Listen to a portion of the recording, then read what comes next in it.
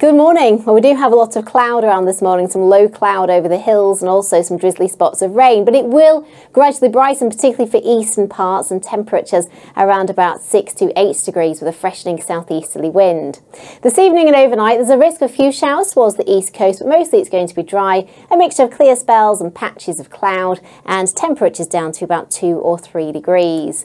Tomorrow, we're going to see bright spells, a risk of a few showers towards the east coast, but mostly dry, although feeling cold with a fresh to strong southeasterly wind and temperatures only around 5 degrees.